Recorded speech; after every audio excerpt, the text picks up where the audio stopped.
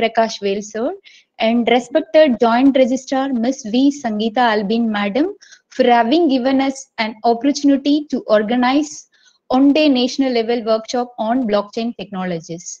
Now I feel very proud to welcome our chief guest, Dr. Adri Jovin, Assistant Professor, Senior Grade, Sri Ramakrishna Institute of Technology, Coimbatore, who has accepted our invitation. I welcome you, sir.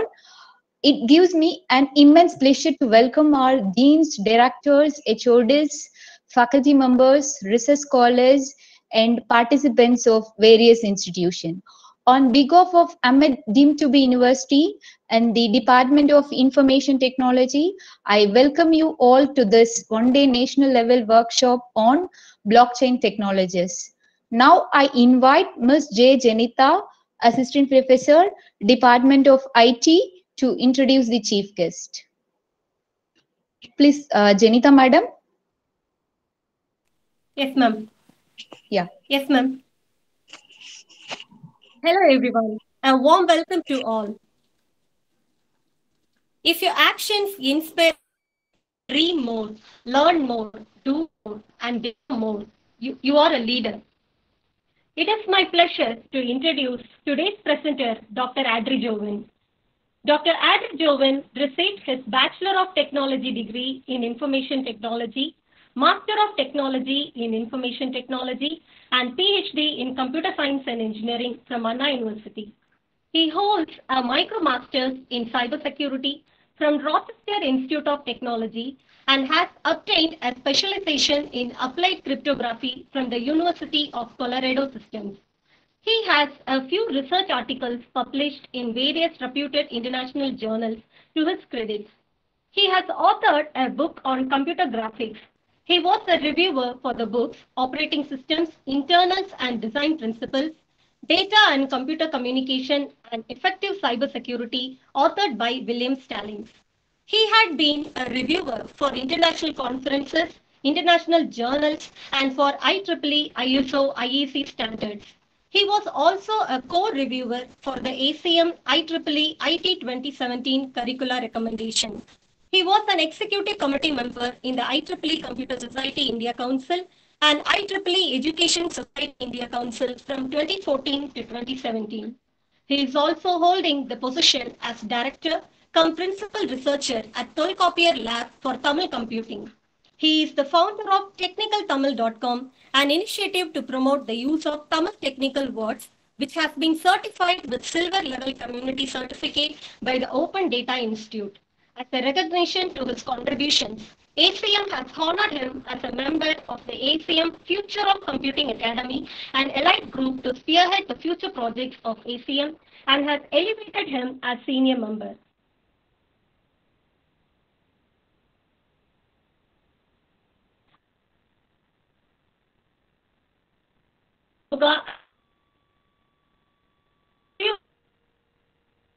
Let me invite our Adri Jovin for today's invite.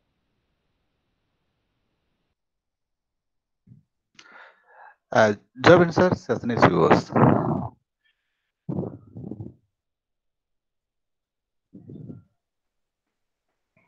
Uh, thank you. Ah, okay. So let me share the PowerPoint. Okay, sir. Okay. Uh, thank you for uh, inviting me for this uh, uh, workshop uh, as a resource person. And uh, I am too a learner like you, um, all, um, and aspire to learn a lot uh, new about uh, new technologies. And uh, coming to the contents of this workshop, uh, let us uh, start with this uh, blockchain technologies. And this presentation is intended for beginners, for those who are new to blockchain technology or just have heard about blockchain technology alone, but uh, haven't worked out what or uh, haven't uh, been exposed to, a, to an application level in blockchains. And uh, um, it is intended to uh, help you understand the characteristics and uses of blockchain, uh, to discuss about the roles and uses in a blockchain, uh, to discuss about uh, public and private blockchains, and to get enlightened about uh, consensus and need for consensus in blockchain. Uh, basically, uh, when you come uh, to the case of blockchains, you need to have a better understanding on data structures and uh, uh, distributed networks, distributed computing, and uh, mm, cryptography as well. Right. So uh, these are the core areas where I had worked on uh, during my research. My research was basically uh, on agent-based intelligence systems, and especially to be very uh, specific, I was working on mobile agents, uh, deploying intelligence to agents and securing them from attacks. It was my uh, research work, and uh, this blockchain was an extension of this work. Right. And in case of agent-based intelligence systems, we had the concept of code mobility using mobile agents. Uh, the code can get trans transferred from one system to another. Uh, that is, if uh, in order to accomplish a number of tasks that are being set to it. For that, we have been using uh, platforms like Jade, uh, Aglets, which are completely Java-oriented um, engines uh, to design mobile agents, to add the mobility to the agents, right, and to transfer the code from one place to another. Later on, in a later period, I came across the concept of this bitcoins. Bitcoins was a very is a very significant use case of blockchains. Um, before, most people might have uh, uh, heard this buster blockchains only after having heard the uh, term bitcoins. Bitcoins became that um, popular uh, in the recent ages, right? And uh, this is a completely decentralized organization. We have come across uh, a number of systems like the three-tier architecture. We have the client-server architecture, the peer-to-peer architecture, etc. And this is a sort of peer-to-peer architecture, right? And uh, it has a distribution of authority. Each and every person uh, in a blockchain network holds the responsibility of preserving the blockchain, right? And uh, similarly, in case of agent-based intelligence systems, also had the this uh, sort of similarity. And uh, when you take the case of agent-based intelligence systems, we have we had three parts, namely the code, state, and data. But in case of blockchains, we have much more entities to be described, um, which we will see in the forthcoming slides. Right. Initially, it was a when you take the case of uh, blockchains, it is something that is coming out of a distributed ledger technology, where uh, the ledgers for- which were used for computation were placed in different locations, and uh, uh, this was the core for crypto economy. So, a economy that is not much governed by the governments of countries, and or uh, much uh, uh, much nourished and developed by uh, open source developers, right? So take the ca- statement of Naval Ravikant, the arc of the internet is now bending towards decentralization. When internet came into being, we had the particular uh, concept called client server architecture right Uh, every client has to put a request to the server and the server has to deploy the uh, the server has to give you some sort of response and you you were completely relying on the server for a number of uh, uh, tasks to be accomplished but this had led to a concept of what we call single point failure because of which we had to go on with uh, distributed systems. Right? Um, so in that case, you, you take a mirror, e- even if you are maintaining a server, possibly the administrators, the network administrators, or the system administrators in the university knows that if any server fails, they have a backup of the data in some other server. So the, you have a graceful degradation of of the um, performance of the system, right? So this had led to something called decentralization of most pro- probably everyone must have used this particular technology called torrents, right? Um, so if you are very familiar with the torrents, um, you might have known that only the torrent file will be available in the server, whereas all the parts of the uh, end outcome will be present in some other systems. Probably, if I am uh, trying to download uh, some particular software, uh, a software which is uh, divided into 100 pieces, possibly it is not possible to transfer a complete software uh, within a, within milliseconds to your system. It is uh, received as packets, right? Uh, thousands or uh, millions of packets get into and outside my system every second. So uh, if I if the particular software, for an example, if the particular software is uh, divided into some hundred pieces, I may have downloaded some 10 or 15 pieces already, and I am trying to download some other pieces. Probably some other server, some other client might be uh, trying to download the um, same software from some other location, right?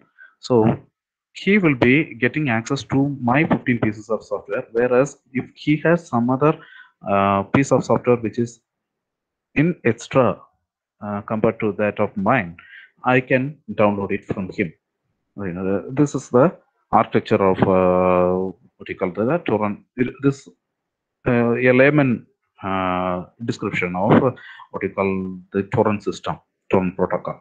But uh, there are a lot of things that, that are going on uh, behind uh, in it, technically speaking, right? And uh, so here the rights are given to the users, and this this were this deployed computer security engineers, applied cryptographers, and distributed system engineers to uh, develop this type of system. right, and uh, when you take the case of a distributed ledger, as most other technologies, it is also it is also a data structure, right? Uh, it is a way in which uh, you are storing the data. Whenever you are hearing the term data structure, it is a specialized way in which data is being stored, right? So this this contains these blockchains and smart contracts, etc. as its sub-modules, and it has three basic components that are a data model, a language for transaction, and a protocol, right?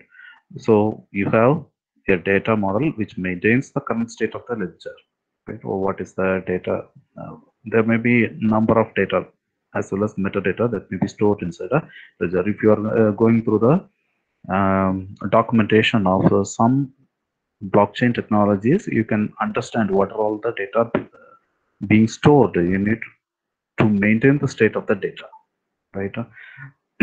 Uh, so maintaining the state of the data is uh, quite a very challenging task, right? Uh, that depends on the application where you work with, right?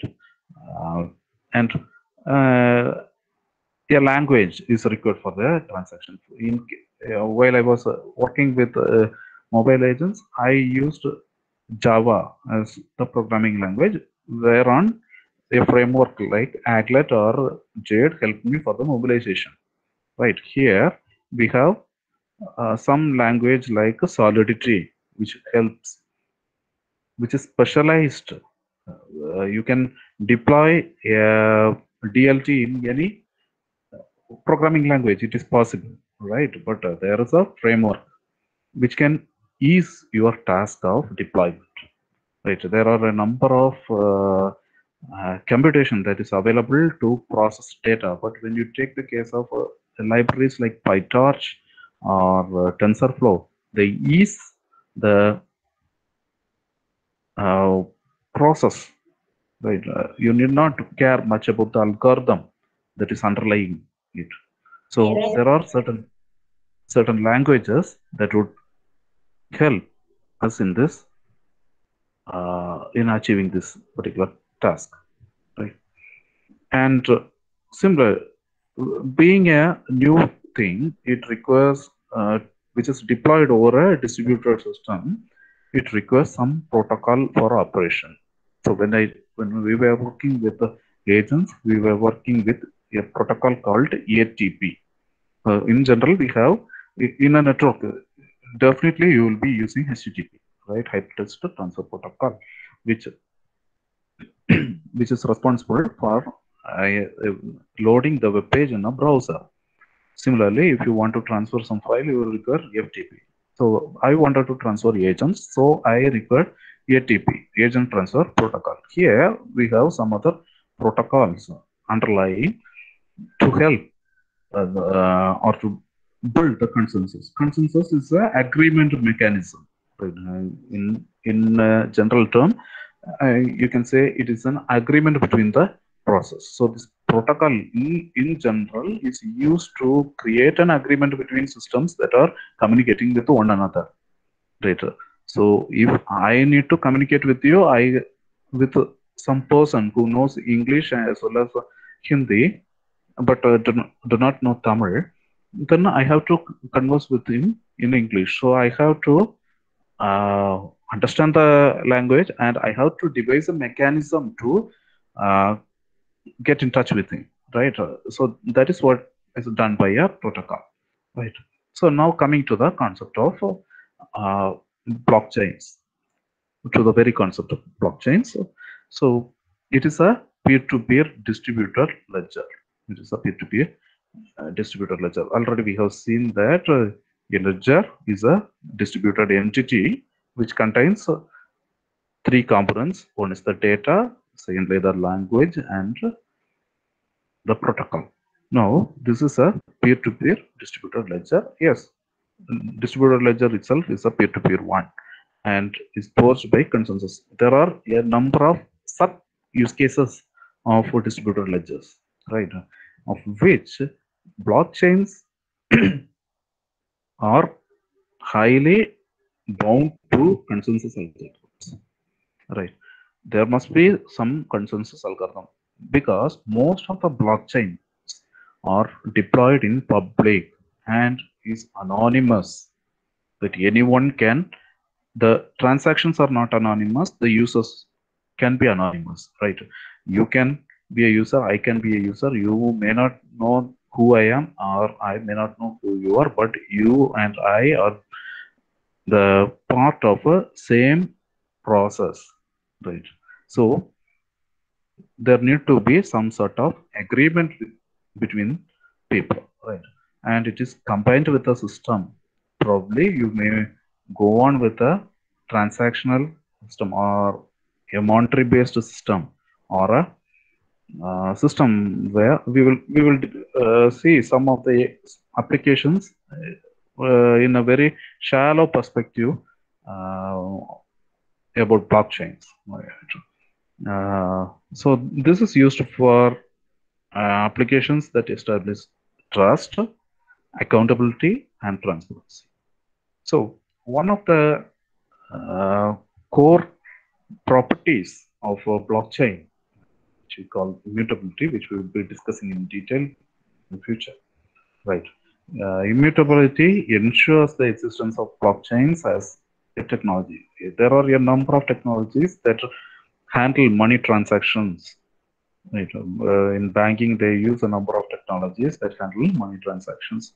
Um, But when you take the case of a blockchain based transaction network like bitcoins you cannot deny something for example for a particular task i give a bribe of rupees for of some thousand rupees to some person and he also gets it through a bit bitcoin network in near future when there arises a litigation against me for having bribed a person and or him for getting a bribe, both of us cannot deny the concept. If I deny, then what happens? I will let you know. Say, if I nullify one transaction in my blockchain network, in my blockchain network, if I nullify one transaction, my entire transaction will get nullified. Right. So if I delete the event of having transacted with thousand to some person, even if I have crores of money in my Bitcoin wallet, it will become zero. Right. If I try to delete. So that is the power of these blockchains. So it is a read only as well as a write only type of uh, transaction happening. And some of the application domains where blockchains are deployed today are goods transfer, um, that is for supply chain, digital media transfer, so for sale of digital arts, right? It's uh, used in, so these are, these application domains are something which I had gone through, browsed through some sites, some websites which uh, which uh, really work blockchains, right? And uh, for a kind information, most of these are about to be deployed in Dubai, right? Uh, Dubai is uh, getting boomed with uh, a number of technologies, and Dubai is going to be a blockchain managed uh, or governed um, city in some five or six years. So they are working on it. Uh, very recently, uh, there were a lot of people uh, who were deployed for this particular process, and uh, I personally had known some person who's who was working with HTC as a consultant. Uh, he has gone to Dubai for the deployment of blockchain uh, in their governance system, right? Mm. So these are all some of the applications as a decentralized uh, business logic. So moving computing to a data source, uh, just like what happens in cloud and uh, uh, related systems, uh, distributed intelligence for education credentialing. So nowadays, uh, we must uh, we must be obtaining some sort of badges or some sort of uh, credentials from professional uh, or professional certification uh, from industries like Microsoft or Oracle. So for this type of education credentialing, education credentialing, you can use uh, blockchains. Similarly, for distributed resources like power generation and distribution, power grids can be completely uh, governed by blockchains. Uh, similarly, for crowdfunding, uh, for example, if you want to start uh, want to start a startup, uh, so when you take the case of um, getting money from foreign agencies, there are a lot of procedures. But when you take the case of uh, blockchains, so since uh, with a caution note, I am saying, since it is not yet governed by the um, government, uh, you can uh, get your amount as bitcoins, right? There are strong regulatory um, clauses that govern the usage of cryptocurrencies in India. So it is it is still not completely governed by uh, the government of India or the RBI, but they have also not prohibited the use of bitcoins or uh, coins like Dogecoin, Ethereum coins, etc. But it has not been regulated by the government so far. So it, it will take some time for us to adapt that particular technology. Whereas some other countries have already started uh, deploying cryptocurrencies. For example, you must have uh, recently heard that Bradley had sent his uh, aid to India in as bitcoins. Right. So Australia is working on bitcoins. Right. They they have legalized bitcoins, but in India it is neither legalized nor a illegal one. Right. So it is in a very hypothetical state. And electronic voting. So uh, nowadays, uh, people have started uh, working on it. And uh, very recently, one of my students uh, did a project over it, but to an elementary level only, the project is getting into. So very recently, you must have heard that our chief election commissioner, the former chief election commissioner, uh, Sushil Arora, uh, said that uh, there there can be there will there shall be a possibility of having one election in this nation. One election throughout the nation in a single stretch. You can have an election, and anyone can vote from anywhere. So if such a thing need to be managed, you require uh, technologies like blockchain.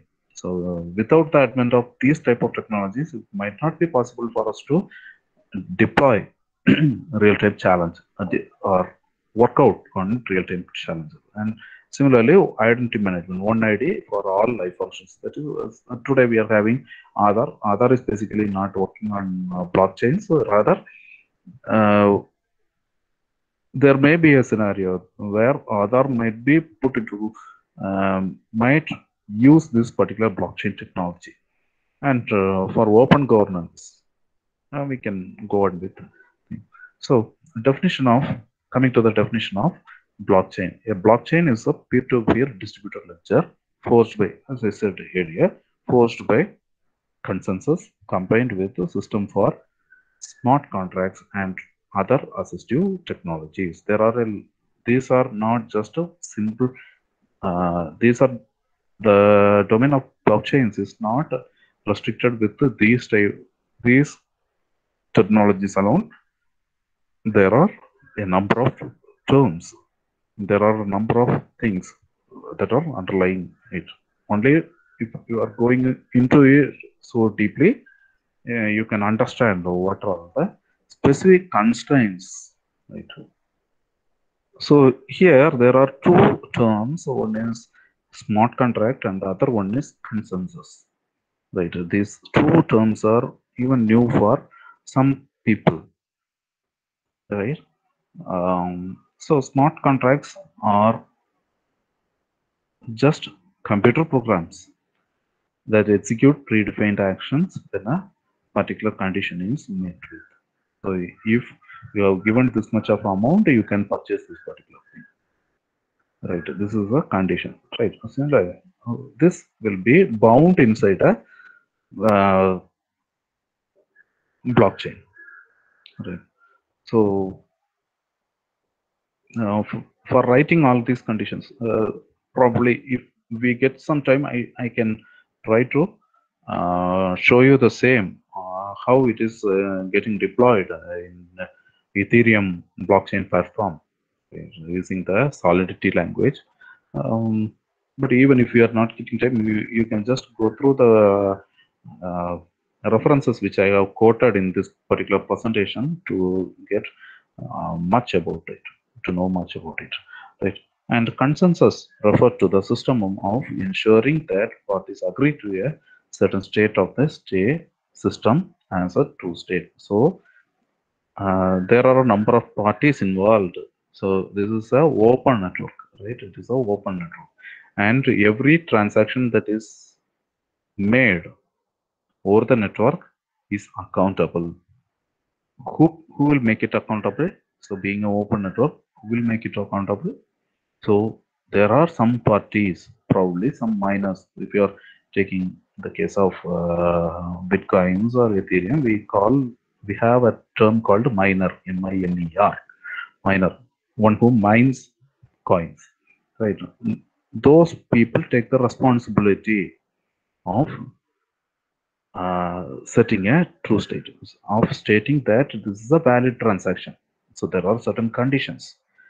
Uh, you- we cannot, in a, at a stretch, make a transaction or, or a blockchain. There are certain conditions. Only if those conditions are met with and is endorsed by all these people, it it can be ag- agreed to get into the blockchain. Otherwise, it will not be allowed into the blockchain. Right. So there's a very uh, uh, big confusion uh, between uh, blockchain and Bitcoin.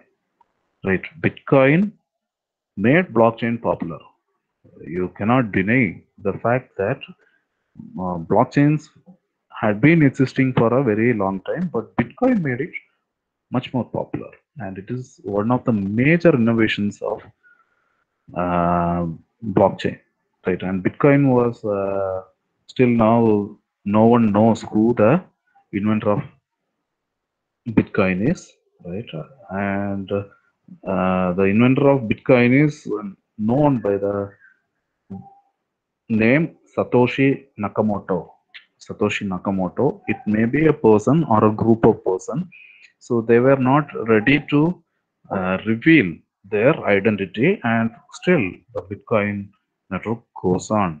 Right? It is an anonymous, open, public network, and it goes on. And it is a continuously working digital currency. 24 by 7 it is working and uh, there is no downtime it is going on it's going on and mm, so even uh, some two or three days back we received a notification from most of the banks that because of the uh, maintenance work in NEFT we are not you may not be able to transfer via NEFT for a particular day. And some two or three months back because of amalgamation of two or three banks we will not be able to make the transactions for three or four days. So i was an indian bank customer and i suffered a lot for those three days. But when you take the case of bitcoins it is not so right? It it, it works on. So no one is governing it but it works on right? This is the power of a blockchain. So there is no one who is working on it. So when you come to a deeper perspective and so when you take the case of a blockchain. So we will further discuss about uh, uh, bitcoins as well as ethereum also. Ethereum also why because these are the major open source uh, um, open source uh, blockchains where anyone can work with right? But you require some sort of uh, software like Honeyminer or something, and you must have that much power uh, in your system, right? If you are using softwares that are relevant to blockchains, especially mining softwares, if you are using, you can feel the heat in your system, right? It will take off the maximum power, and there are a number of people who are really earning a lot out of it they create rigs of GPUs. Right? They create rigs of GPUs and use it for mining purpose. So your computational power is its investment. Right? Your computational power is its investment, and you you can start. There are a number of videos available in YouTube how you can start investing in Bitcoins or Ethereum or Dogecoin, whatever maybe. If you are really interested in making uh, such type of uh, investments, you can go on with it because uh, blockchain is a open thing. And is it possible? many of you may ask, is it possible to get it back as a currency which we are using today, like euro or USD or INR, right? Indian rupee. Yes, it is possible. It is possible. There are agencies that uh, convert the bitcoins to your local money and give you back. But there are some uh, transaction charges, uh, some service charges, and you have to bear with it. And now coming to the blockchain, we have four pieces of metadata. One is the It is almost similar to you can just visualize a linked list uh, in data structures. It has a reference to the previous block, right, or the next block, whatever may be. So in general, yeah, if you are taking a particular block in, we will we will see, see that uh, in the forthcoming slides. No, you, let me not confuse you with the. It will have a reference of the previous block. That, that will be considered an originating block. And next is a proof of work, also known as nonce. Okay, there, there are some nonce that is being created, and that is considered to be proof of work. I will let you know how this this particular concept works in creating a transaction or validating a transaction or creation of a block. Right. Next, we have a timestamp value. So timestamp will be in UTC, Universal um, Time Code, right? Uh, so it will be in and we are in UTC plus 530, uh, right? And we have a Merkle tree root for the transaction included in this block. Right? So we will come across this Merkle tree data structure also in the forthcoming slides. Right. So when you take the case of uh, um, blockchains, most important property a blockchain possesses compared to that of most other data structures is that it is immutable.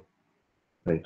This is whenever you are talking about blockchains, you have to talk about immutability. Right. It is the salient feature of a blockchain. There may be a number of features that are available in most other technologies also, but immutability is the salient feature that is available in blockchain. If your data is tampered, other anywhere in the chain, link will break. Right. It is just like a, uh, a block that is chained with another block. Another whatever you store, you put it in a uh, whatever you save, you put it in a box. Right. And once the box gets filled, you close the box, put a chain, and uh, attach another with it. Right. Once again, you start saving. You put it in the box, and goes on. Right. So this is the ca- similar uh, case can be uh, seen in a blockchain also. So this provides not only immutability but also security. So that's the reason why if you are making a malicious, uh, you are seeking a blockchain with a malicious intent, you may not get a lot from it. And very little number of attacks are uh, found, you know, blockchain, right? And uh, when you come for the transactions, each and every event is being recorded and it is secured using a digital signature which is verified and bundled together into blocks. Whenever you are uh, creating a block, you need to imprint your digital signature also. So this helps you to um, maintain the identity as well as you cannot uh, it ensures the property of uh, non-repudiation uh, you cannot deny that you didn't make it right if, if you are a party who is in it but still there are anonymous transactions. You can uh, get into the transaction at any time. You can leave the transaction at any time but you cannot uh, say that leaving the transaction will uh, destroy your records. Right. Even if you leave the transaction your records will be available there with your digital signature. You have worked with it. That's all. Right and uh, cryptography has a key role to play both in security as well as in the immutability of the especially the techniques of hashing right? Hashing as well as Merkle tree hashing. It, is also one of the hashing mechanisms only uh, but it uh, it is represented in in a different term right? So we will when we are discussing about Merkle tree we will come across it. And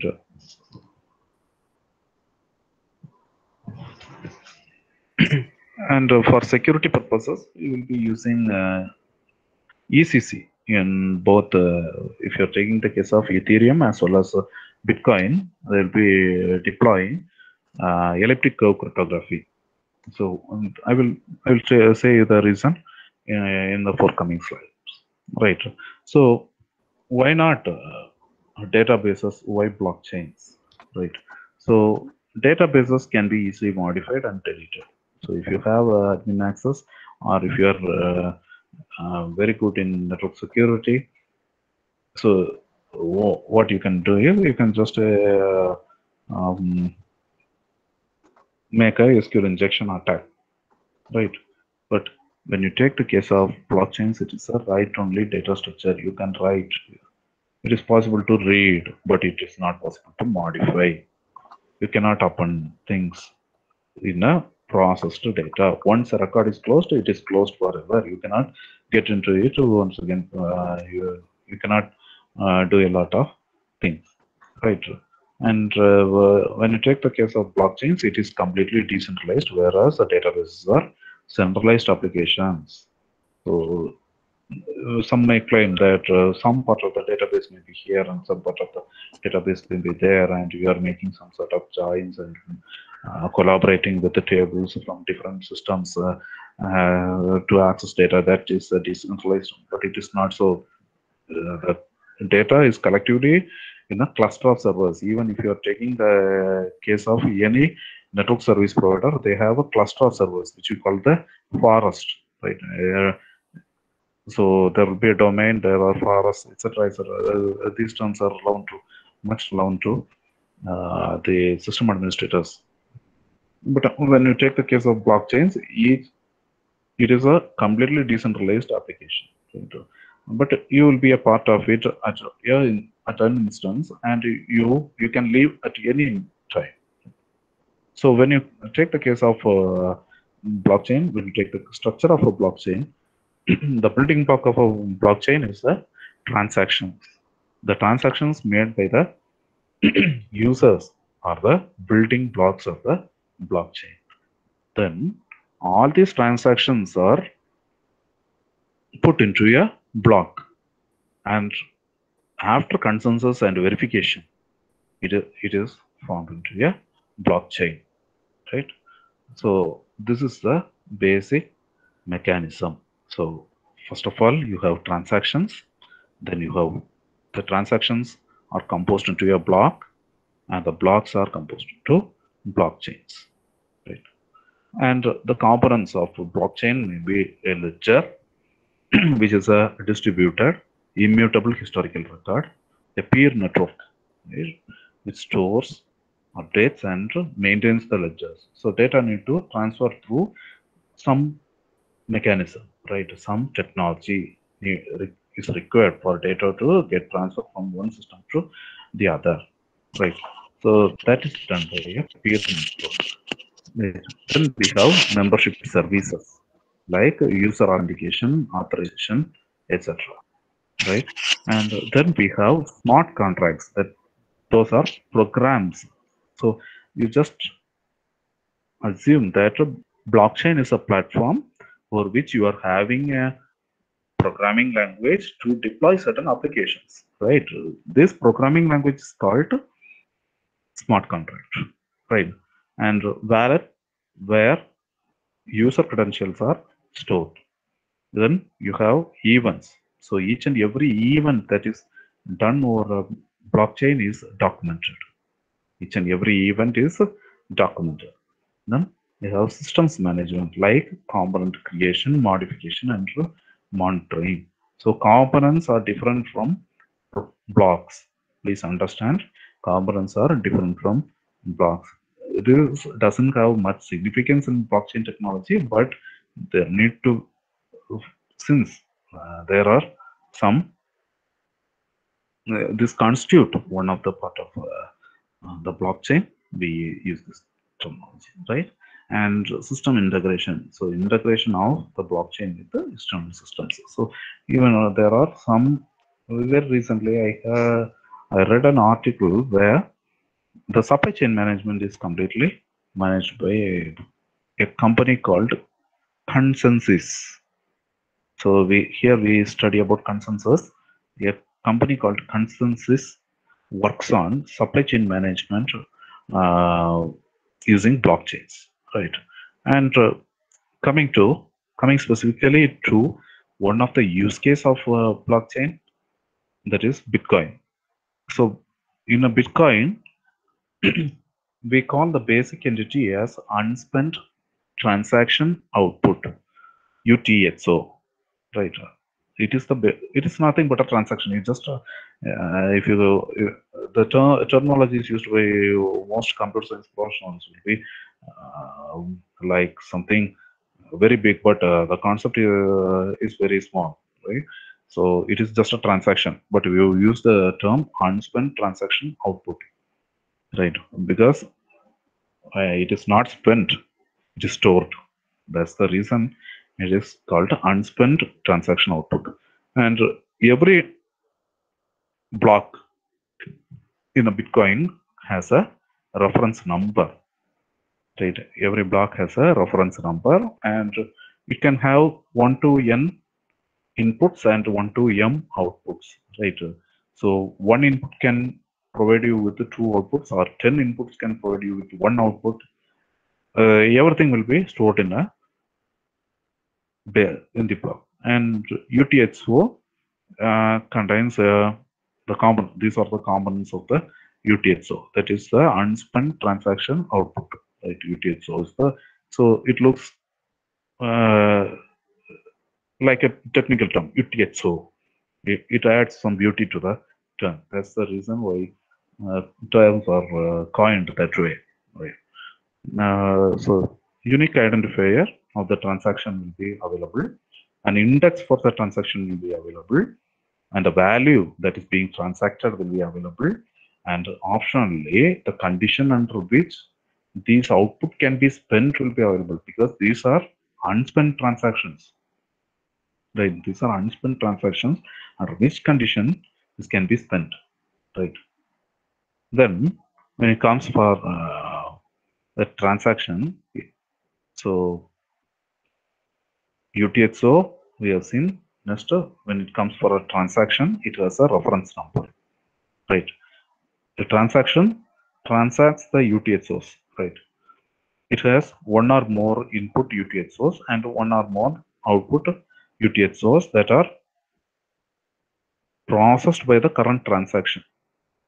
And the total input and output amount will be there. So this is a sample transaction so here you can see one input UTXO. So so this was uh, logged today morning at 7 1 a.m. Today morning at 7 1 a.m. Uh, I log this. The timestamp is also there. The transaction was first broadcast to Bitcoin network on May 26, 2021. So it has not been put into a block so far. That's the reason why it is said to be an unconfirmed transaction. Right. Uh, the transaction is currently unconfirmed confirmed by the network. Only when after it is getting confirmed by the network right? Only it is getting confirmed by the network it will be added to the block. So for that there is a mechanism. So for that purpose only we have the process of consensus. Okay. Now uh, you can see one input UTXOs and it is processed into two UTXOs, two output UTXOs, right? Uh, if you take the sum, there will be, it will be almost equal, right? And uh, what is the fee for this particular transaction? The miners will be getting this particular fee, right? The miners will be provided with this uh, fee. That's the reason why people use help in mining. You, they will just install.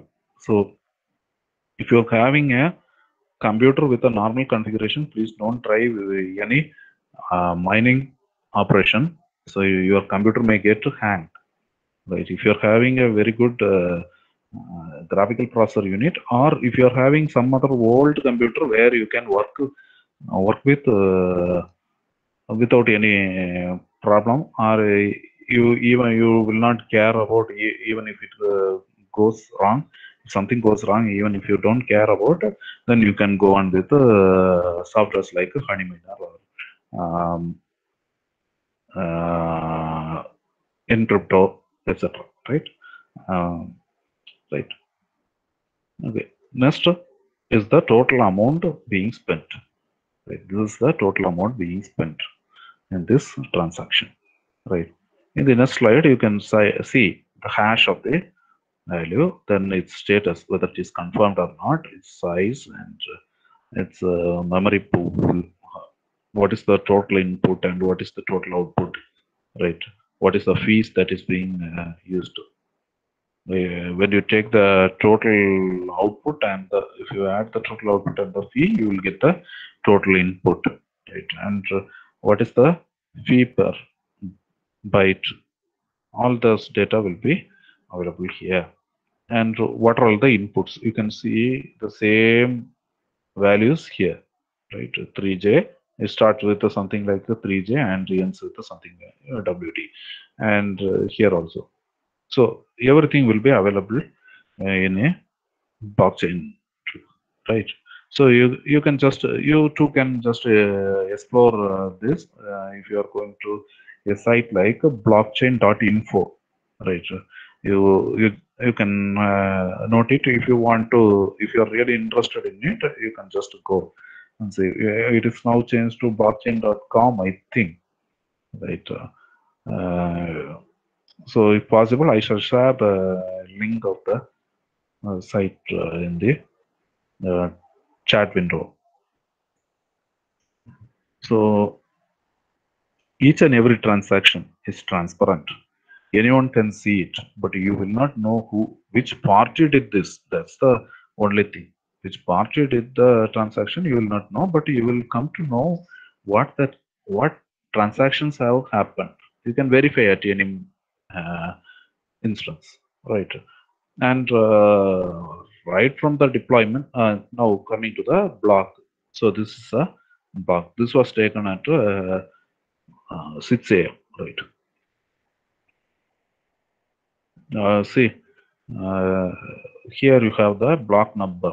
So this will also be available in the same site. At one end they will be displaying the transactions and at the other end they will be displaying the uh, blocks. So every block will be having a link to uh, other block right? And you can see that here you have a merkle root right? Here you have a merkle root this is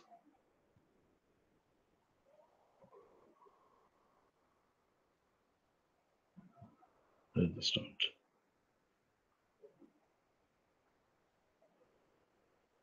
There is something called a Merkle root. So this is the root node of the Merkle tree. The summation of all the values in the leaves constitute the root node of the Merkle tree. Right. For our understanding, we will see about it in future. also. Right. So these are all the transactions that have made this particular block.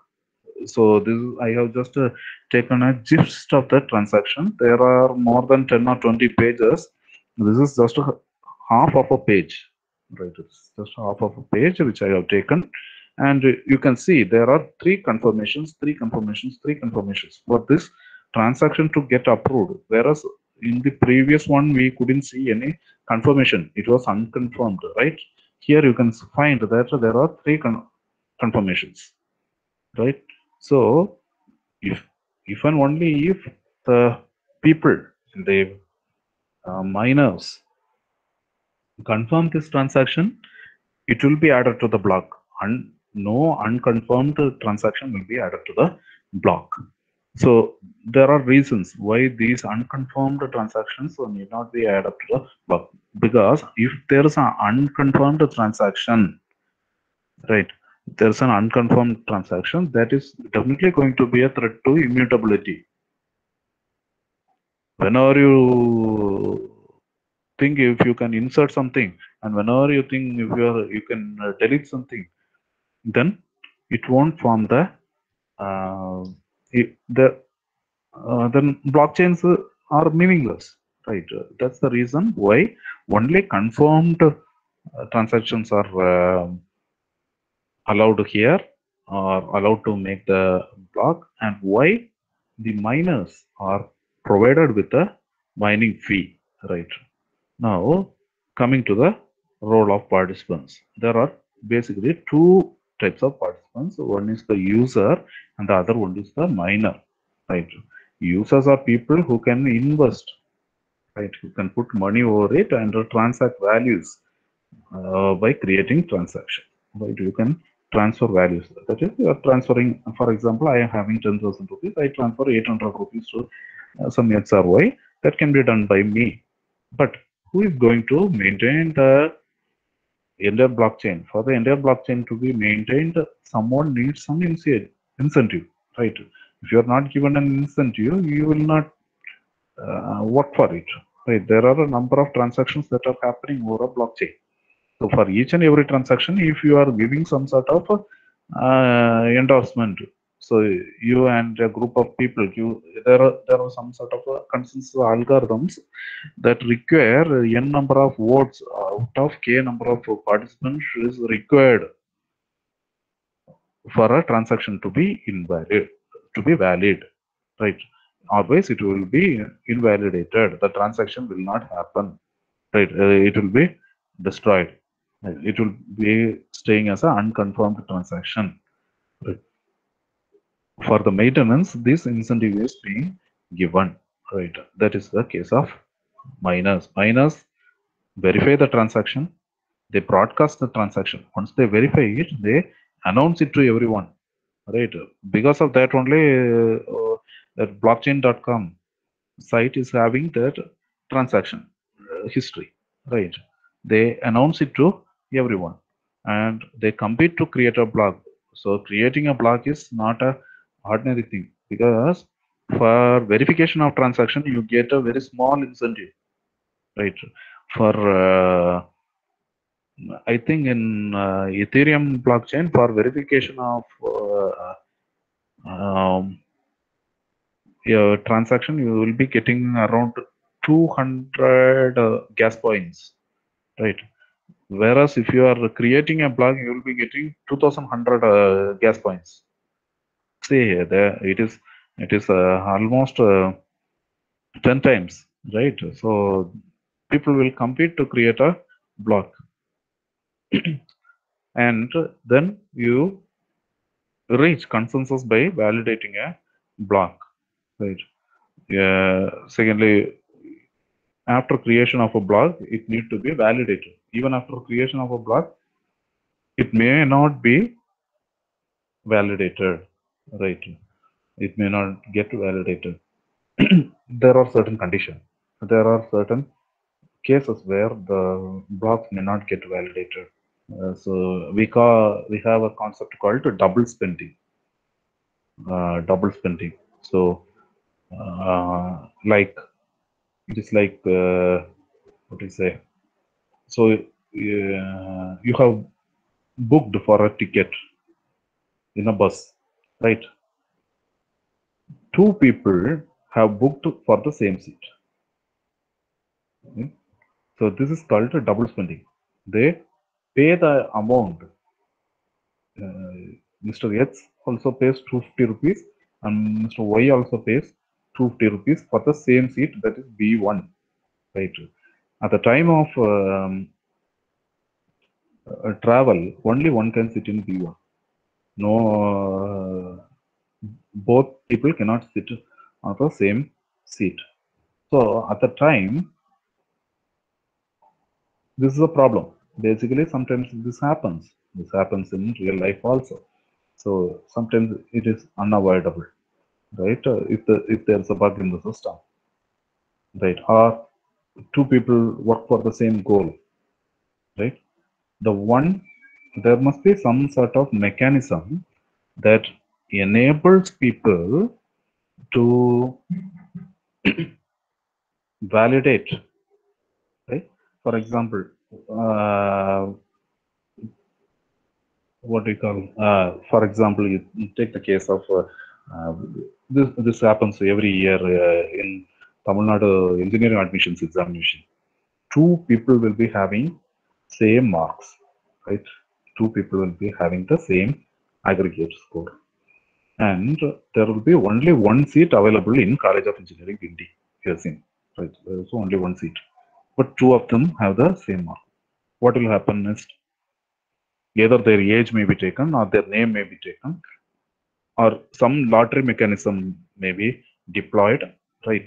A lucky draw may be deployed to end the tie. That happens in uh, blockchains in this blockchains also right next once you create a block, you have to broadcast that you have created a block. Everyone in the network must know that you have created a block. Then you have to confirm it. Only after that it will be put into the blockchain. Right. So now creating a block. So if your transaction is added, if it is rejected, no issues.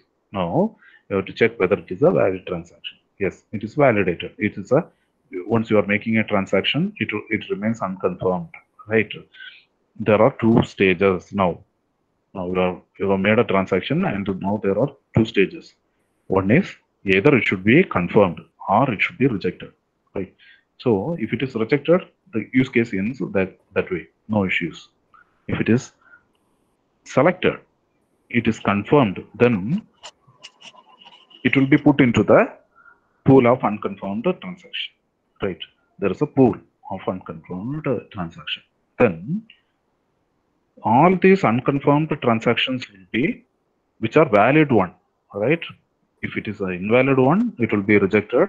Which are valid ones will be collected to form a block. Now miners there will be a number of miners who will be competing to solve a puzzle. There will be a task so it requires some sort of computational power to solve the task.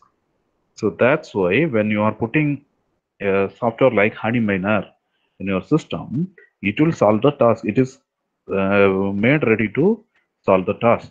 But what happens is they take the energy from your system. They take the energy from your system, right? So the computational power of your system is being utilized to solve that. And they give you a meager amount.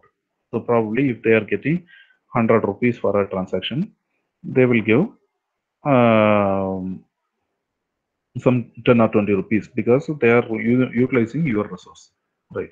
So that is how people usually earn in uh, using bitcoins right? And then the miners uh, here compete to solve the puzzle and the solved block is broadcasted. Now, it need to be verified.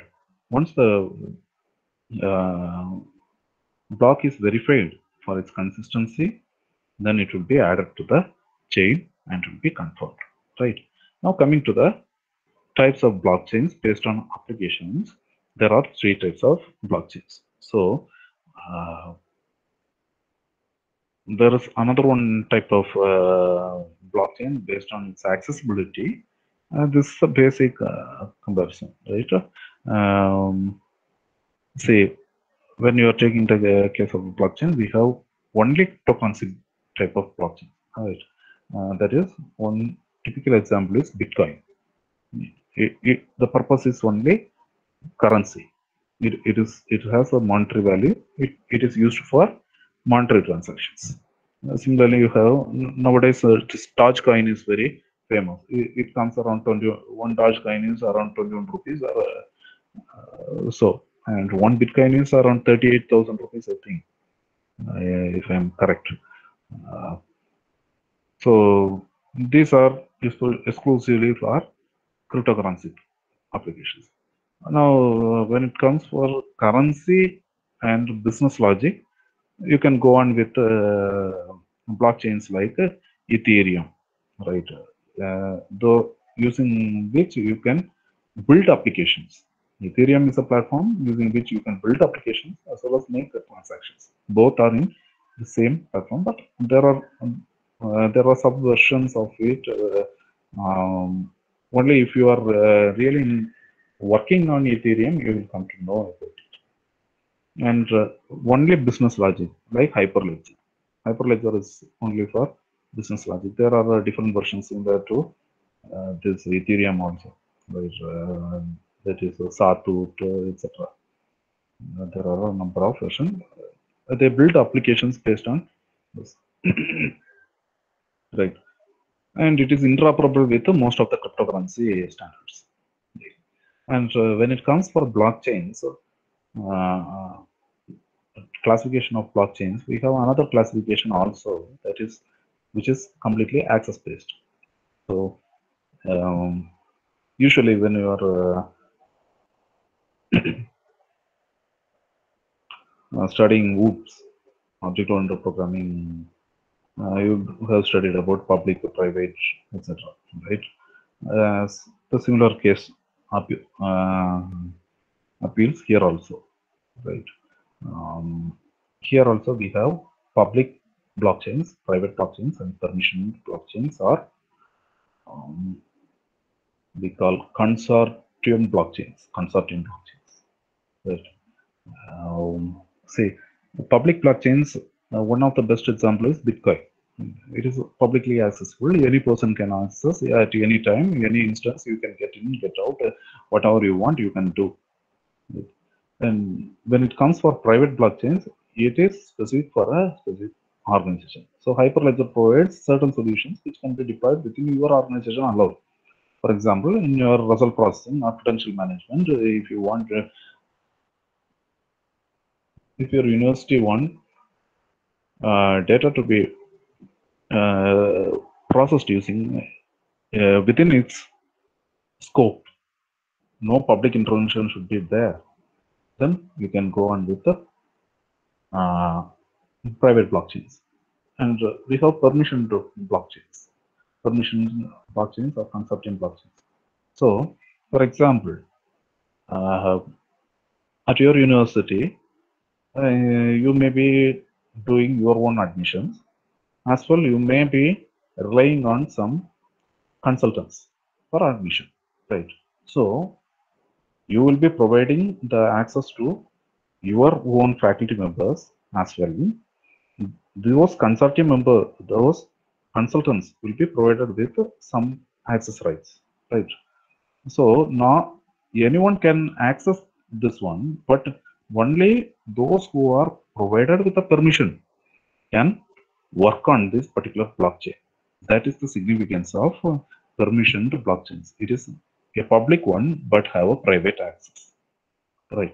So this is that this is another classification right? And when it comes here uh, explicit uh, comparison between uh, bitcoin and ethereum right?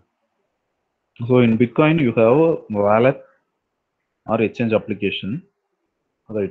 You, you may be deploying some what i said like honey miner uh, application like uh, honey miner or uh, mine me up. Like that right under which you have the bitcoin blockchain protocol. It will be having its own protocol right blockchains usually don't share the same protocol. Each type of blockchain will have its own protocol and operation. But the peer-to-peer network and operating system uh, layer and the hardware layer remain the same for both of them right you can deploy it over the same uh, operating system or the peer-to-peer network or the same hardware. Right. When it comes for the Ethereum blockchain, you can observe that there is an end user application. That that's the reason why I stated that it is a currency plus business logic based blockchain. Right. It is a currency and business logic based blockchain right? So for currency purposes you can use these frameworks and uh, smart contracts. Frameworks like smart contracts and uh, other things. But uh, the ultimately you will be having end user application for example land registration can be done using ethereum right?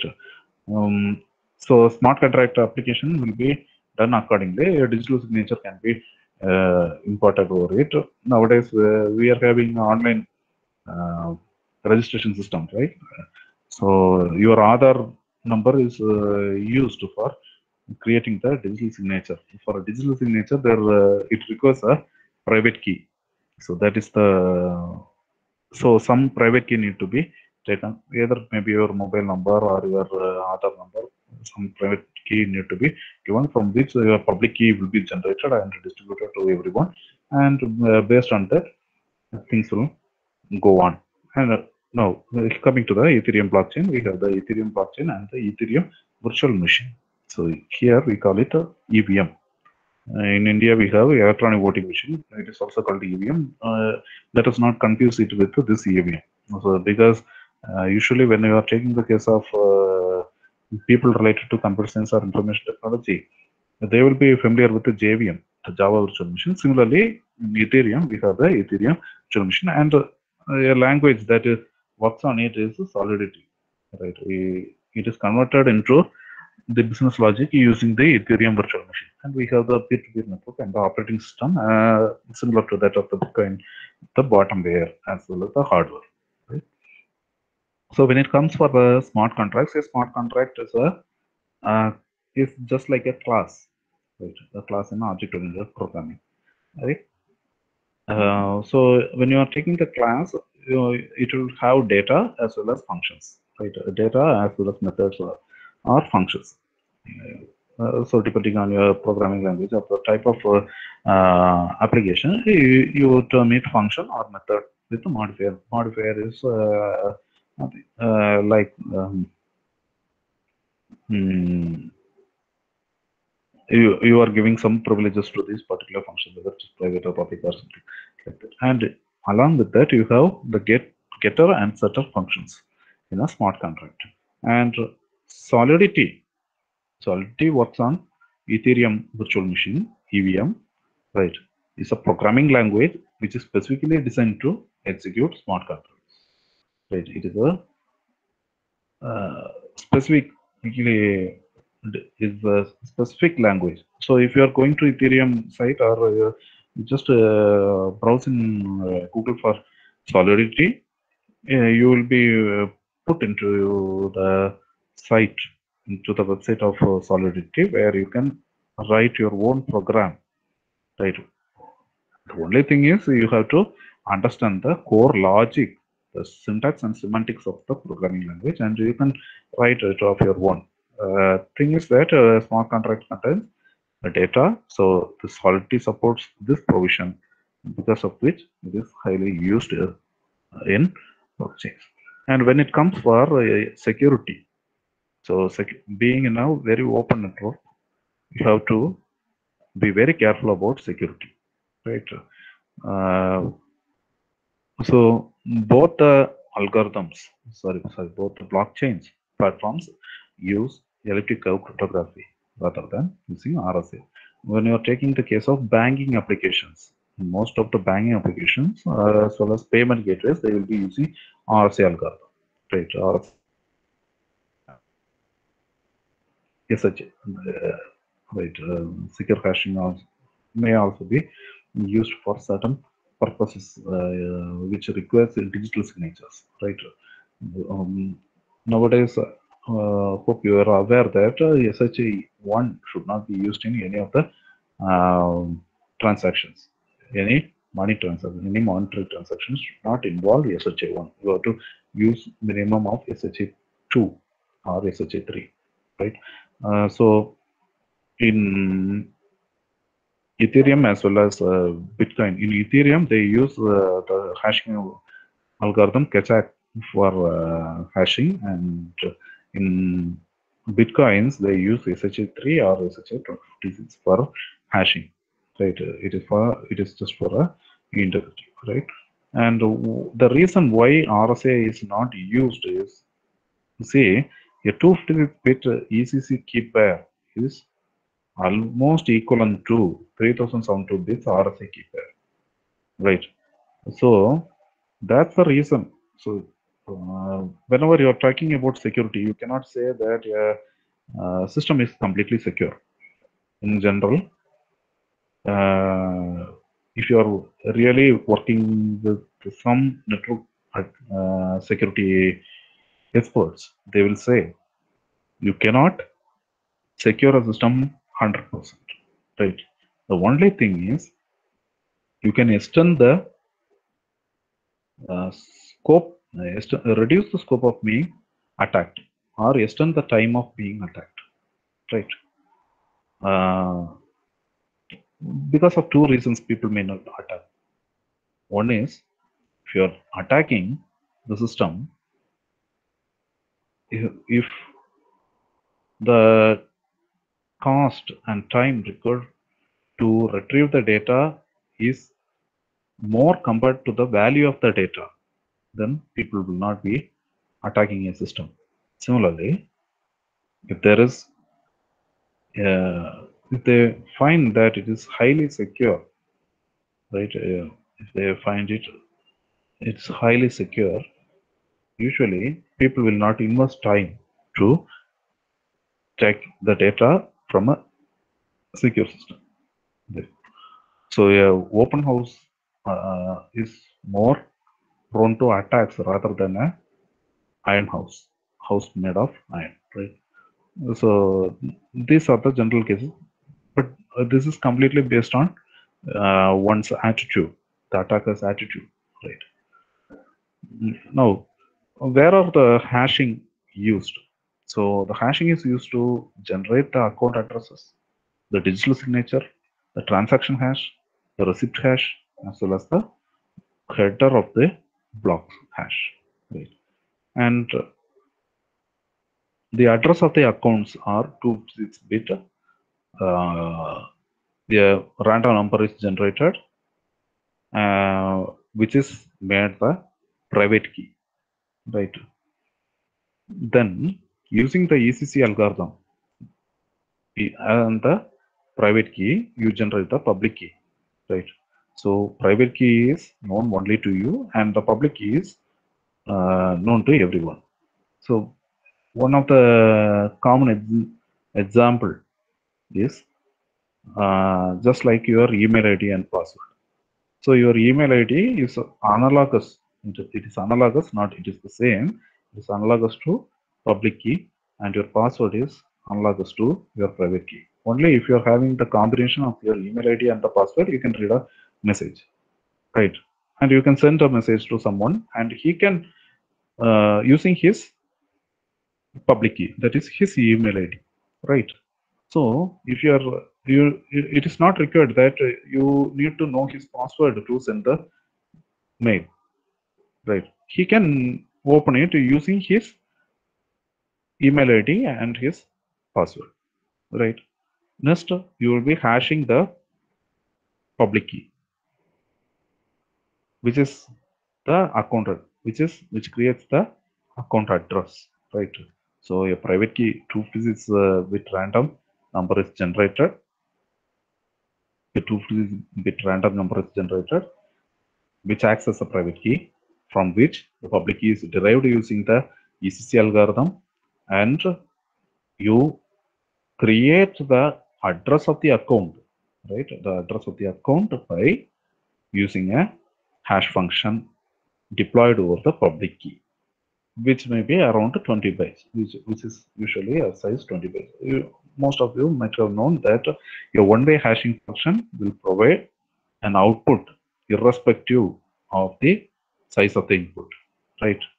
Uh, output of specific length irrespective of the size of the output. And moreover, there are since it is of 160 bit, which is uh, 20 bytes is uh, equal to 160 bits, right? Uh, it is enough to uh, create, uh, sorry, uh, to um, produce the hash in a more secure manner, right? So there are a number of properties of hash hashing algorithms that need to be taken into a- taken with uh, care in order to generate hash values because there are a lot of things called collision. Uh, so collision should not occur, right? Uh, the birthday paradox, something like that, uh, happens in most of the hashing algorithms. That shouldn't happen here, right? So the step is taken in such a way that it produces uh, a 160-bit account address. So there shall not be any uh, collision happening. And uh, the transaction for transferring assets should be authorized, non-repudiable. So if you are signing it, you shouldn't. So uh, what is the uh, public key encrypted with the hashing called? So it is the digital signature, right? So the digital signature of the person, right? Okay. So in order to maintain the non-repudiability, this will be taken into account and moreover this should not be modified if you are making any modification in the hash definitely it will affect the data right at the time of verification Yeah. and a complete transaction verification involves timestamp verification of the timestamp verification of the nonce verification of balances and sufficiency of fees. So if sufficient fees is not provided the transaction will not happen. For example in olden days probably some two or three years back for every NEFT transaction some amount was being uh, deducted from your account.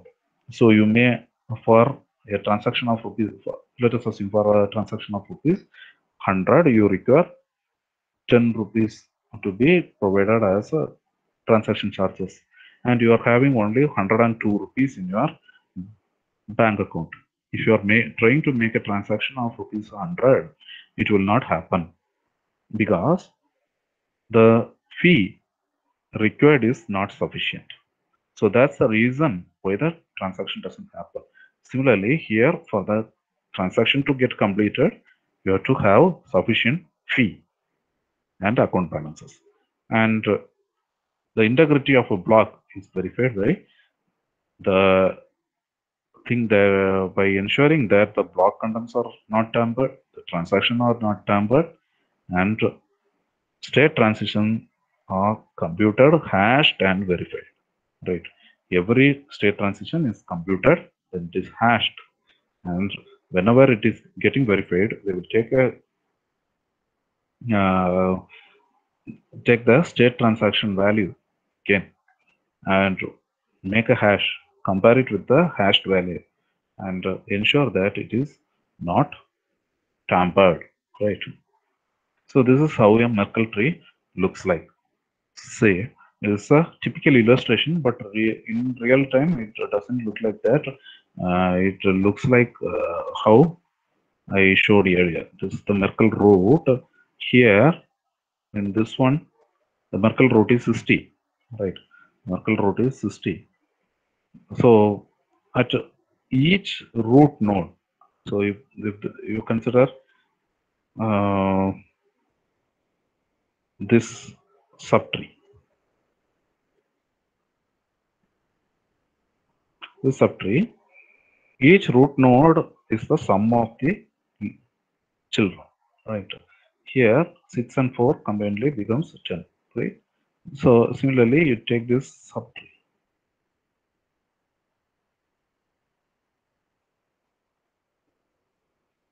Ten plus twenty-one.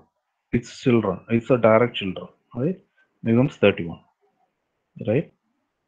Here you take this subtree.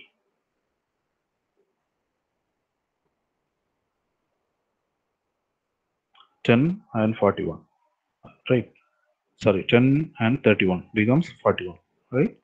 So if there is any change here, or if you make any change over here or here, it will be immediately reflected, right? It can be immediately detected. Similarly, if there is a problem with the transaction, so this this tree is for your um, for a simple understanding only, but in real time, the trees will be very large. The trees will be very large, and uh, see uh, if there is any problem with some transaction if you uh, see uh, if you could find that there is some problem with some transaction you you need to traverse it from the root and to the sum alone right? You need not uh, go to uh, each and you need not visit each and every node to find whether the where the problem is. You just need to uh, go through the path where this summation happens right? Where this summation happens. So your search time to find a fault in this system is reduced at least by 2 right it is you you will have at least uh, you will be having uh, only uh, you will be spending only half the time uh, spent over most other algorithms. If you're going for a linear search, it will uh, take n number of searches. In, in general, when you are going for a tree, it is reduced by almost uh, n by 2 or log n, right? So uh, depends on the size of the tree, uh, the worst case will be n log n. And to establish trust in a blockchain, you secure the blockchain using protocols, validate the blocks and transactions, verify the availability of resources, and finally execute and confirm the transactions. So now coming to the final part of the uh, things, uh, that is the consensus algorithm. So this ensures that the data on the ledger is the same for all the nodes in the network, right? So you are maintaining a ledger, the, the values, it ensures that the values are not um, not compromised, right? So this is the and it prevents malicious actors from manipulating the data. Um, so one who is not aware of this consensus algorithm will not be able to um, manipulate the data, will not be able to access the data. Secondly, it requires some n number of people, n number of parties to validate a transaction, right? There is a threshold value I had said earlier. If there are k number of total endorsers and n number of at least it requires n number of people to endorse the uh, transaction then if the number is not met with the trans transaction the transaction will not be validated. So that is the uh, thing so so if you if one person one malicious actor tries to uh, manipulate or tries to uh, insert a uh, block which is malicious in nature or probably which, is, which contains a unconfirmed transaction it may not be possible for them he need to compromise at least more than half the number of uh, endorsers the number of miners in the involved in the transaction. That is the problem with the, uh, a malicious attack right? And it varies with the different implementations. And there are different types uh, the first type is proof of work. The second one is proof of stake third one proof of elapsed time and finally the proof of authority. So in case of proof of work uh, proof of work is the most deployed uh, consensus algorithm and there are a number of researches going on uh, with the consensus algorithm how to optimize this algorithm how new algorithms can be formed how the consensus algorithms efficiency can be improved. How? To make a foolproof consensus algorithm there are a lot of research problems involved. So if you're really interested in blockchain technology and if you are working with uh, consensus algorithms there are a, there is a very huge scope for research in it. Say proof of work is widely adopted by bitcoin as well as uh, ethereum blockchains right? Whereas hyperledger doesn't do so. Hyperledger is not with a proof of work uh, whereas i think it works on proof of stake right? So we will see each and everything uh, here right? Uh, now when it comes for proof of work it involves solving a computationally challenging puzzle to create a new block for that a lot of energy computing energy is required right? It is computationally challenging. So people might have heard about some uh, uh, unending loops right? So, al almost uh, these problems are almost similar to those problems. And uh, in real time uh, I haven't seen any such problem in my, uh, which these miners are really working with. But I have heard of some people who are working in the blockchain domain. Uh, that's the reason why most people doesn't get into this proof of work concept. Uh, uh, uh, most people do not become miners. Rather, one who knows it become a miner and creates a software that would uh, extract the computational power from our system to solve this problem, right? Mm, and so usually the concentration of mining power is located where electricity is cheap. Uh, so whenever you are, uh, so for example, uh, if if you are very confident about your system, you just try to install HoneyMiner. Uh, it's one of the smallest software that is available for mining purpose. You just uh, try to uh, install it and start working with it. Uh, if your uh, if the battery charge uh, is retained for some three hours in your system, if you are using Honey software like HoneyMiner, it will not even stand for some 30 minutes or 35 minutes. It will reduce the power because more the computational power is being utilized, the more the electricity, right? The battery's power will be pulled. Right. That's the reason why uh, this happens. So that's the reason why these are done in countries where electricity is cheap. In fact, in India, we have cheap, cheaper electricity, right, uh, compared to uh, the first world countries. Uh, if you're comparing the European scenario or the US scenario, we, the uh, cost of electricity is uh, quite high compared to that of uh, India. Um, probably that's the reason why most people from India work on this mining, not directly into mining. They put the mining software and uh, deploy a number of uh, uh, gridded GPUs uh, to accomplish this work, right? Um, so this uh, uh,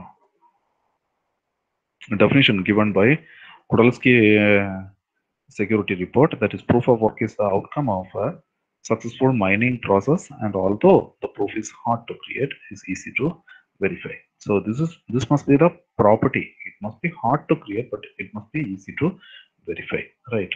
So uh, here this is the process. Uh, the block header element uh, it will be created. So we already see have seen the seen how the element is created. In share you, there will be a private key. The private key using the private key the public key will be generated and using the public key a hash will be generated and that hash is going to be static.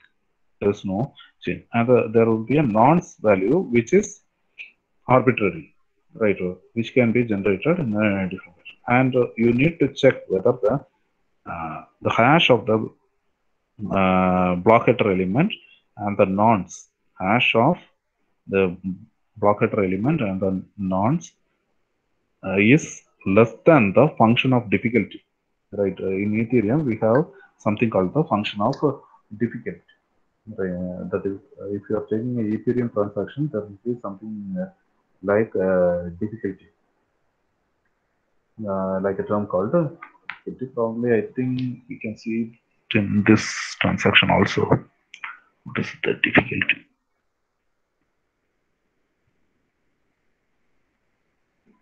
Mm, no. Okay. Uh, if possible we can you you can uh, go through that particular site right? You can go through blockchain.com and see the difficulty. So if it is less than the difficulty it is solved. And the block is uh, blocked uh, the solved winner can add the block to the blockchain right? And if it is not uh, less than the function of difficulty then once again you have to change the nonce. Right. So here uh, there may be a number of uh, people who work on it. I have already discussed about the concept of uh, double spending. That is one of the uh, problem. And another one problem is that is called fork. Forking.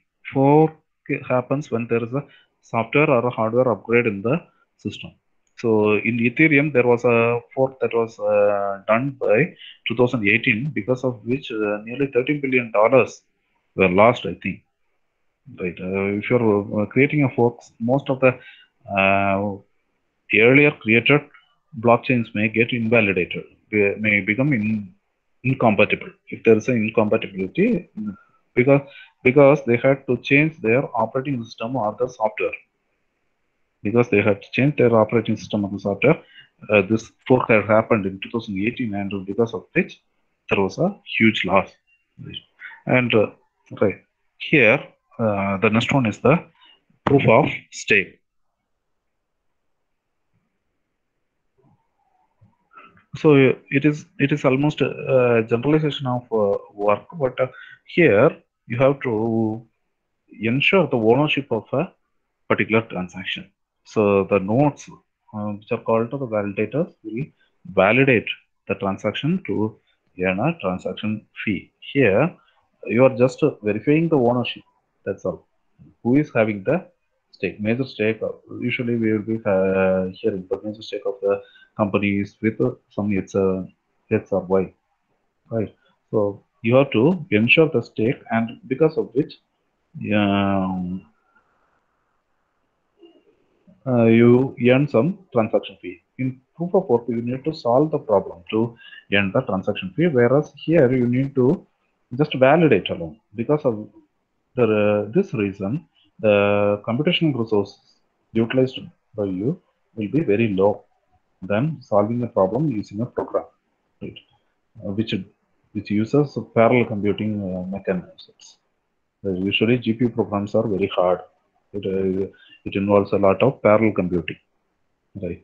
So uh, this is quite less but the transaction fee is also usually less and um, hyperledger uses this type of right? This is proof of elapsed time right? And this was developed by intel. So this is a hybrid uh, system which comes uh, as a random lottery and it's served on a first come first served basis right uh, it is a hybridization of a random lottery with the fcfs Right. and uh, each val- validator is given a random wait time right. the validator who is uh, using using the shortest wait time for a particular transaction is selected to be the leader and the leader is given the authority to create the next block Right. So it is just like a uh, what you call a buzzer round in most of the quiz uh, programs. Okay. Uh, okay. Next proof of authority. It is almost similar to that. Uh, this is used only in permission ledgers. Right. In permission ledgers only you are using this. Hyperledger uh, definitely supports this particular uh, mechanism and it uses a set of authorities or designated nodes to create a new block. Only people who are really authorized will be having, for example, in an academic institution, probably a HOD or a um, registrar will be having the uh, authority, final authorities, some sort of uh, authority may be given to them uh, to finalize uh, financial transactions or to buy purchase new equipment. Similar mechanism happens here, the proof of authority. Whereas in case of proof of stake, it is proof of ownership. It is almost a proof of ownership, right? So the key takeaways here uh, in this workshop are the concept of decentralization. Right, uh, we are moving from a uh, world of client-server technology to a decentralized technology, uh, where it, you involve peer-to-peer uh, members to uh, accomplish tasks. Then you have a distributed immutable register. The word immutable is very important in case of blockchains. Uh, see, um, the blockchains cannot be tampered. If you are trying to tamper it, you will lose everything. Then UTXO, so unspent transaction output, uh, which is the basic block of um, bitcoins and smart contracts, which are the core principles that are underlying the Ethereum blockchain uh, blockchain platform. And EVM, EVM is the Ethereum virtual machine, which uh, which is used to deploy the uh, smart contracts that are written in uh, written using uh, Solidity program. And Merkle tree is a typical hash tree which is used to store the transactions in a blockchain, and it is mostly used in uh, Bitcoin and Ethereum blockchain. And proof of work is the consensus mechanism that is being used in uh, Bitcoin as well as uh, Ethereum, uh, where you will be solving a, a challenging puzzle in order to uh, accomplish a particular task. So these are all some of the references which I have come across. If if possible, you can also just uh, go through these references. Right, there are uh, courses on uh, um, blockchains in Coursera as well as in edX. If you're having an institutional, um, probably you must have known that uh, edX is providing free institutional access as well as uh, uh, Coursera is also providing free institutional access, and you can do, do one course per year in Coursera, and uh, in EDX you can um do as many courses as there is a, until there is a subscription. There are a number of courses related to blockchains, how it can be used, how Hyperledger is being used. Right, you can go through all those courses if you are if you are really interested. And there is a large research scope uh, towards uh, uh, the use uh, in in the domain of consensus algorithms. Right, uh, you can work on it. So if you're really interested, you can go on with it. And uh, thank you. Uh, if there is any qu- questions, you can ask me, and I shall share you the slide also, the presentation. Uh, you can feel free to edit it. You can use it anywhere, everywhere. Right. And uh, Thank you, sir, for sharing your knowledge with us, sir. Uh, it is the time for participants to ask your doubts to our uh, chief guest.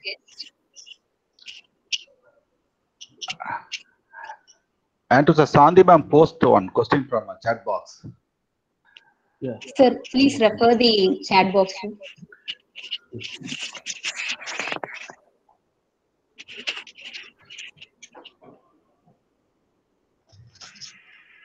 Ma'am, as far as uh, uh, this is concerned, um, you must have managerial capabilities, you must have system knowledge, and some specialization with uh, respect to uh, cryptography and uh, distributed systems. So there is nothing so specific uh, about it. There are a lot of people who are working in the blockchain domain uh, without a computer background itself, it is easy to understand the basic concepts, uh, provided you are strong in your uh, domain. Thank you, sir.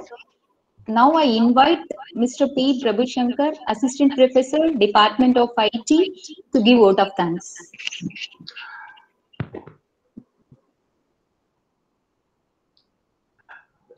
Uh, good evening to all. It's being immense pleasure to give vote of thanks in one day national workshop on blockchain technologies organized by the Department of Information Technology at AMET Deemed University. First, I would like to thank our Honorable Chancellor, Dr. J. Ramachandran sir, for his moral support.